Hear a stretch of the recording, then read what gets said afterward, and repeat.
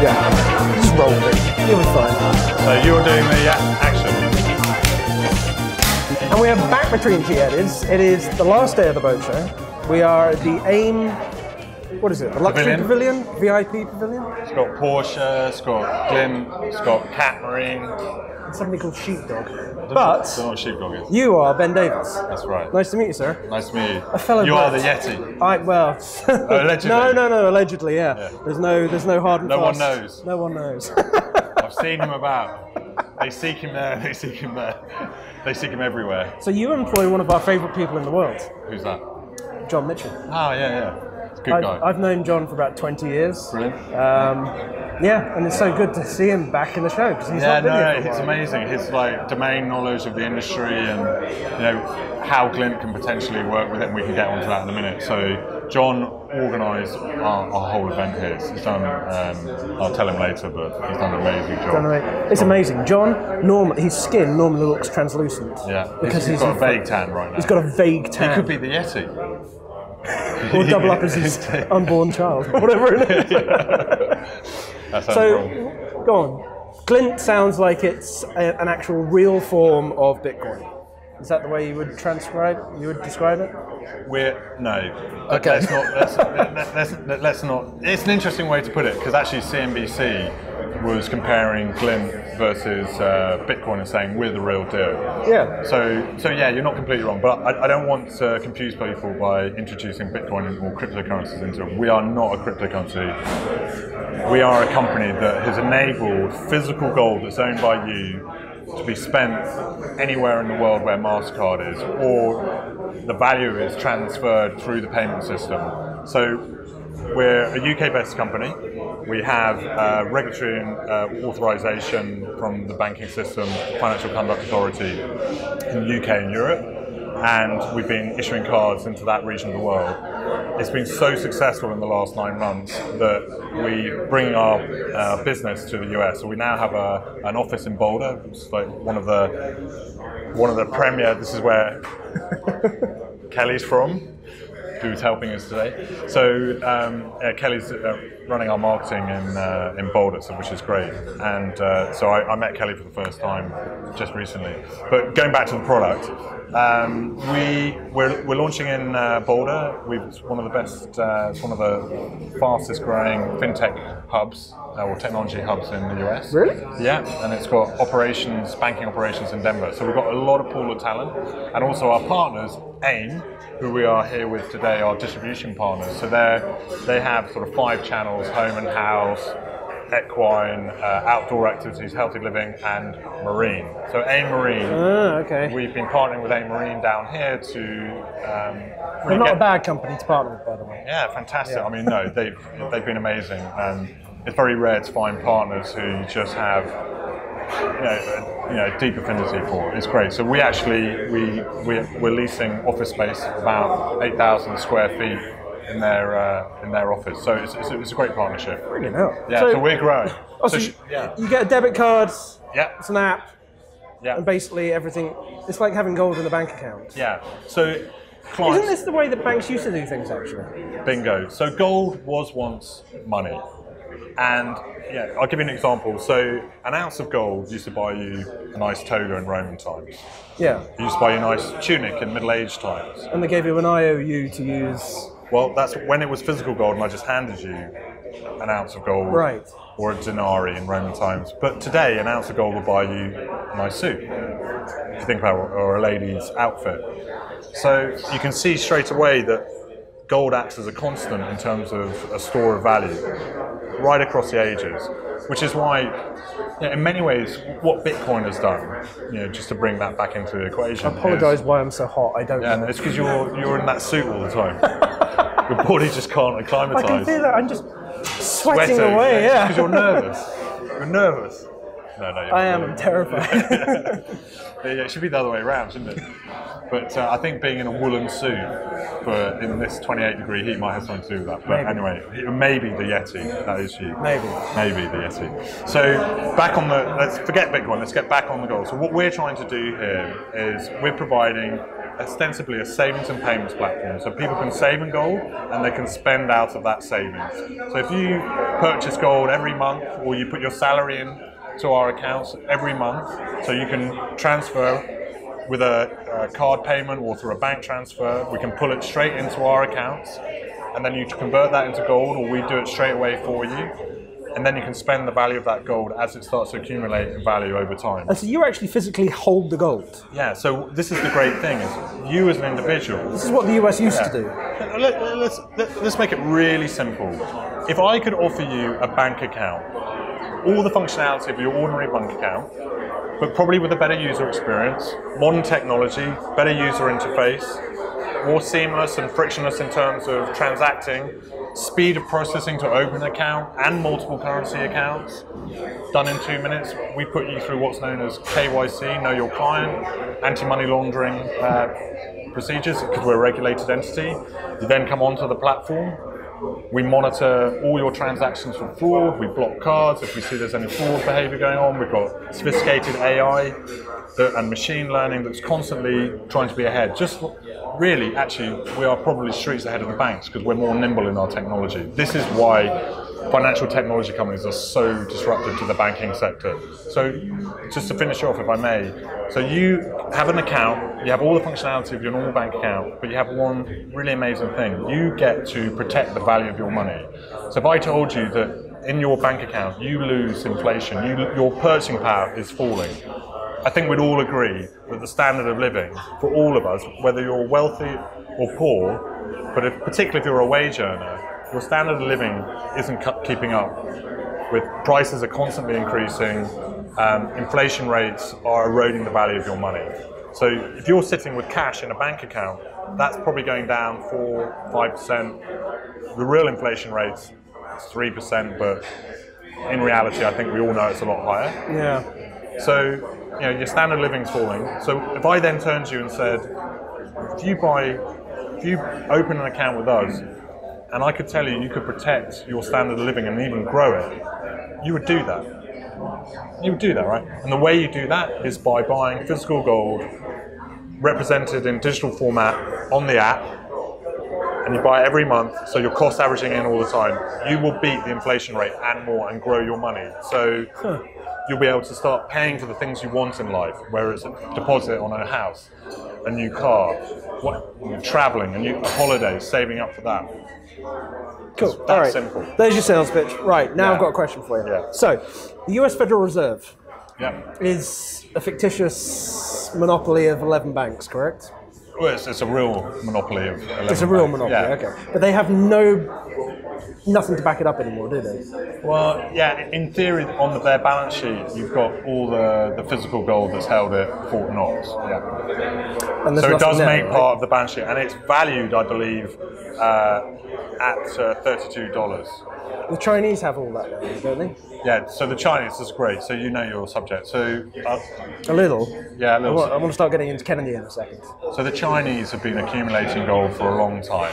So there is a there's going to be a seismic shift in, in the, the monetary regime. At the moment, we, we have something that's called Bretton Woods 2, and not to get off on some big macro monetary discussion, but it's based, ostensibly the relationship between the yuan or the Asian currencies and their peg to the dollar. Ostensibly, what happens is, in order to keep their currency artificially undervalued so they can export goods in return for investment from America, they have to purchase dollars and sell the Asian currencies. What that means is they've built up significant dollar reserves at the central bank in China and across Asia. But what they've been doing is they've got all this debt risk now, US debt risk, and they know that they've got a fiscal deficit that really can't be paid down, particularly now Trump's come into power and he's spending like crazy. So what, what they're doing is divesting into physical gold, and they've been doing that for a long time. They've got very significant gold Divesting or investing? divesting into out of dollars into physical gold. Into physical gold. Like the Russians are, like some of the European banks. Italy have got very large holdings. Switzerland started to rebuild its holdings. It's amazing because, So the smart people are buying the gold. well, the, the thing is, this is how banks started. Yeah. So physically, it got too much to carry around a Yeah, it's not gold. portable. Yeah. So you gave it to the blacksmith, wasn't it? Yeah, yeah. Blacksmith had it, and Well, then the goldsmiths, but yeah. And then they give you the, the, the notes that if you give this to him, to him, that's what started paper, well, current paper currency. You've hit it now head. So people just rightly, as they amass wealth in physical coins, it's just imagine it's the And it's the, risky. The density, the weight of gold, as you know. I mean, to pick up a 12 and a half kilo bar, you can't do it with one hand. I've never held one. Oh, Oh, I have actually, yeah. It's, it's, it's literally like that, and you're it's that you feel the weight. You can't just lob it. It's Yeah. a it's amazing over. when they get it, you know, the, Yeah. You do you remember the, film. Kelly's Heroes? Do you remember Kelly's Heroes? black and white? It was a war film. It was, I think it was coloured, but it was with uh, Telly Savalas and I think Clint Eastwood was in it. But it was some World War II, and they, they basically end up stealing this gold or, from the Germans. But the way they're like throwing it over their shoulders, it's not like that. It's literally, oh my god. So very, very, um, it's a high value, high weight. It's product. funny because everything comes around in circles. You know, flares went out of fashion and they come back into fashion. Cowboy boots went out of fashion. That's fashion. But when it comes to the way a bank traditionally should work, Yeah. your money should actually be Gold. real. Yeah. So so let's finish off your the, the whole blacksmith to goldsmith. So what happened is people then said, look, I want to just deposit in a custodian with you at your bank, and in return they gave them a promissory note, which was let's say it's hundred gold pieces matched hundred gold pieces that are actually held in custody with them. But then man being ingenious started to go, well, you know what? I've got any more. I- I'll give you a promissory note for 200 pieces. So, what we would call borrowing on 50%. So now they're lending out some of their gold. And you tend to get malfeasance and misfeasance and some just sort of generally bad practice in lending. And so before you know it, all these, there's too many promissory notes running around because they're seen as money, and actually it's not backed by enough gold. And so that's how, as you're right, you start creating fractional reserve banking. As everyone probably understands, effectively, very simply, for every dollar that's held in your deposit, is probably lent out 10 times. In fact, it's way more. So that's why when you have a bank run and everyone pulls their deposits, the bank can't find, fund it unless the central bank prints more money to uh, you know, fill the gap. And that's when suddenly too much money comes into the system, finite amount of goods and services. What happens to the goods and services in value? They go up in price relative to the amount of money that's coming to the system. Okay, so after the First World War, was it? No, Second World War. Second World War. Um, repayment of the reparations. Yeah. The bank, the International Settlement Bank, was started. Correct, BIS, yeah. and that is the biggest bank in the world. They're, well, yeah, and there's, They've only got twelve clients or something, they're, they're the central bank of the central banks. which nobody's ever heard of. Yeah, it's a, yeah, I mean, it's, it's I know bit- we did delve into well, tricky yeah. territory. I, I mean, yeah, they seem to be. Uh, But you're the guy who's They're con- going up against them. It seems. Well, they're, they're, well no, I mean, it's interesting because they BIS do lots of reports about the macro economy and macro uh, prudential regulation, and they've been probably the most accurate in forecasting um, prices, which I find kind of interesting.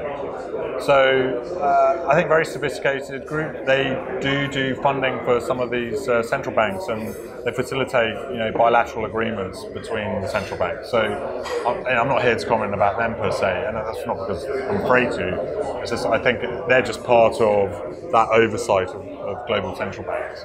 Uh, and I don't think there's necessarily anything Machiavellian um, going on. I think there's people who generally believe that being able to move a few levers on you know, the money supply and setting of interest rates is how you manage an economy. But it's normally the what I call the pseudoscientists. They don't really take into account that human beings are absolutely critical to the decision-making process. So you've got these subjective preferences. What you think is rational is, could be totally irrational to me, and that doesn't seem to function into economics um, thought today notwithstanding all that, going back to promissory notes, fractional reserve banking, what we're doing is effectively creating a 100% reserved bank. So we're, your gold is one for one. Where is it? So we It's hold it. So we hold it in Brinks uh, vaults in Zurich. We're also about in the US, where we've just launched. We're about to hold it in a major depository in the US as well. So you can have a choice of where you want to hold it. But What's we the most amount of gold you've ever seen? I've seen, well, I've been into a lot of vaults around the world, and it's not as impressive as you think because you walk into this vault. Well, It's not alle- like James allegedly, allegedly, allegedly, all the gold that's ever been mined is about the size of a tennis court cube. It's a little bit more than that. So put that into perspective, because Say that again. the size of a tennis court cube Is this is the amount of gold has ever been mined. ever been mined? Yeah, it's a little bit bigger than that now, but yeah. So that because it's it's that weight is such a high value to weight ratio. That's blowing my mind. Yeah, because when you look at a vault, look at when they put the bars down. There's substantial gaps, and they're all on pallets. So and there's a lot of room around them, so you can move the forklift trucks around. I made a film in um, South Africa when we went to the Kimberley mine, Oh yeah, yeah. the big hole, Yeah. and I can't remember how much gold they got out. But it, in my head, it was Well, look, here's truckloads. Yeah, so well, it's, there's a lot of material has to be moved In order to get that one bar. Yeah, to extract a very small amount of gold, which is why you want very high grade gold. You know, you, know, you like over over I think it's about 100 grams Actually, no, per Kimberley ton. mine's diamonds. It is diamonds, Diamonds, yeah. yeah, shit. But, uh, Completely different. No, but yeah, well, well, that's a whole different subject, isn't it? De Beers, you know, control the, Yeah. the sort of supply and demand of the market. But gold isn't scarce. You know, all the gold that's ever been mined is, is still exists today. I would say that there is an abundance of gold, parts per million, per billion, uh, under the. It's just very hard to get to some parts of it. So, Laos, Cambodia, ironically, have some of the largest high-grade gold um, geology in the world. Cambodia. Yeah, but Cambodia, Laos, a lot of Southeast Asian countries. But Completely why is it hard to extract it? Munitions. Whole those countries being Vietnam War, etc., Southeast Asian wars, just been carpet bombed. There's so much uh, unexploded uh, arsenal there, landmines. Oh, really? Yeah. So apart from the fact it's not a great um, jurisdiction to work in, you've also got that hazard. So when it comes to what what's the potential out there, is there like estimates like there is oil? There's like We're not, we're not dealing with uh, end of supply of gold, and it doesn't really matter because ultimately I could have an ounce of gold and just change the decimal denomination of it to create all the money supply we need in the world. It's like that's like um. Oh, what do you call it? Bitcoin. it? No, it's where you um. Oh, I can't remember the word. Never mind. Come back to me. We do it in England all the time. No, it's what Venezuela did. Oh, you mean They just added a couple of zeros. Yeah, yeah, here. well, I've no, they cut, cut the zeros off. you're, you're not increasing the supply? You're just making it representative of one physical ounce. Okay. Now we don't talk politics on the show, Okay, but but I can. we're going to just delve into a little bit. Will Trump attempt to bring back the US dollar? Gold or the US dollar? US dollar. What's so that mean? Get, get rid of the Federal Reserve dollar. Um, it's what Kennedy tried to do Okay. um, before he was taken out. Um, it's a very. Is that a gold base? I don't know. It was wasn't so. If I'm right, oh God, I'm going to show my ignorance here. But wasn't the, wasn't that some kind of silver base? It was Backed, It was backed by. Yeah, it was backed by silver. Yeah, yeah. Okay.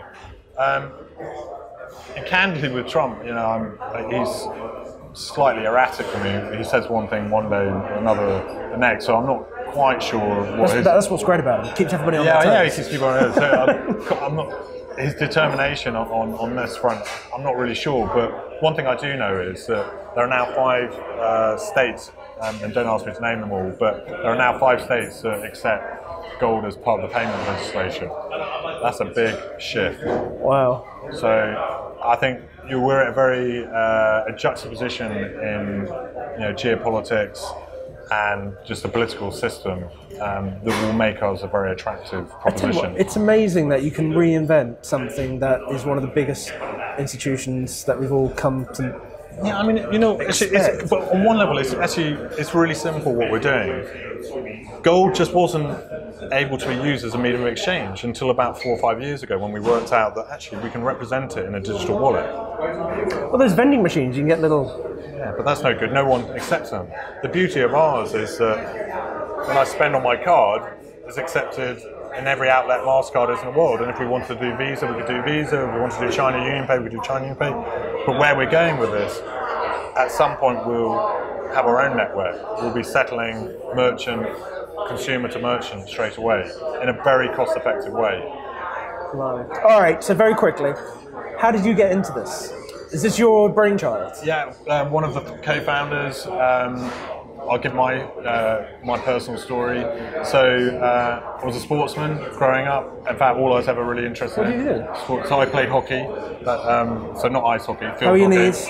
Good, because I stopped. Luckily, I hurt my back early enough that I had to stop. Okay. But you know, I was totally motivated by um, you know, performance orientation, and I and I had a serious back injury, I, I wasn't able to go to uh, it was the Atlanta Olympics in '96, and Oh, I was in the squad. You're and going to be in the Olympics. well, I was hoping to, and I, I'm, I'm not. This is so long ago that I'm, I'm not mentioning it to show off, but it, it's really how my life, personal life journey went. But I needed that drive and stimulus, and never having thought about um, finance at all. Just came from a family where my, my father was in agricultural, my mother was a psy- psychologist, and I was totally motivated to be a sports psychologist as part of my um, yeah, in my spare time when I was playing professional hockey. But I suddenly thought, you know, what a marketplace is about. There are a myriad of people's human interaction, and if you begin to, if you can analyse in a, in a very data-driven way how people behave in the marketplace and ascertain sentiments, etc., you begin to understand trends in markets. So I ended up becoming a trader.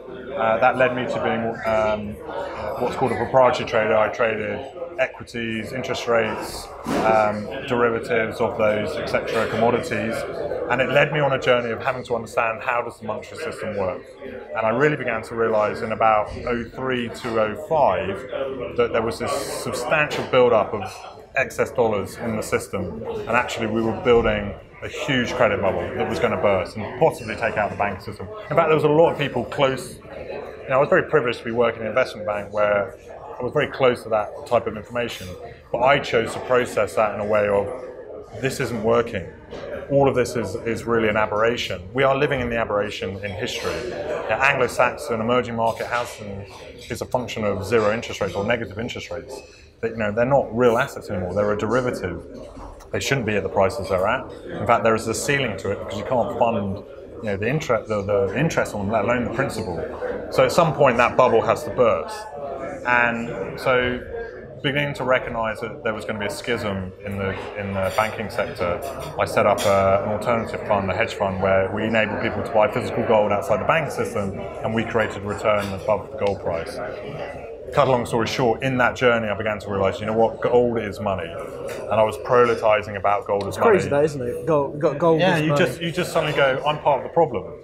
So I went on my own personal ethical moral shift, and I'm a complete capitalist at are. I believe in entrepreneurship. I think it's absolutely fantastic to create wealth for lots of people who are employed within our company, and you know, small businesses that grow into what I call, you know, they're the gazelles that grow into you know, major uh, corporations you know, around the world, they are the lifeblood of the economy and you know, create a lot of productivity. And so to be part of not only creating that, but also creating something that could actually create a more stable form of money. And why is a stable form of money so important?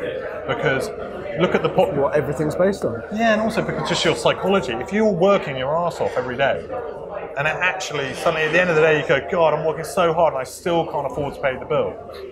You just lose any kind of enthusiasm for your life, let alone your work.